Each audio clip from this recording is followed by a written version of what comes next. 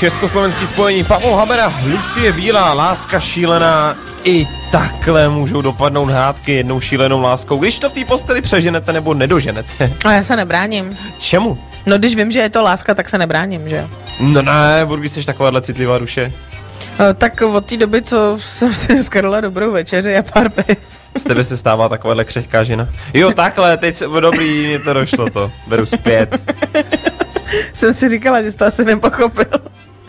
Je, Pátě, ty jsi taky blondýna, veď. Ale poslechni, já na tebe mám uh, jako úplně mimo téma jednu otázku. Uh, psali mi posluchači celý minulý týden po našich hrádkách. Já to vidět nechci. A vzhledem k tomu, že jsem jako i mezi naše přátelé a známé rozšířila, o čem bude dnešní téma. To poté, už co bylo, to to vymyslel. už bylo, já už ne, to počkej, ven. Uh, co jsi dneska vymyslel to téma, jako jak dlouho má trvat sex, uh, tak mi přišlo několik dotazů, jestli uh, po té tvý zoubkový víle víš, jak dlouho má trvat a gay sex.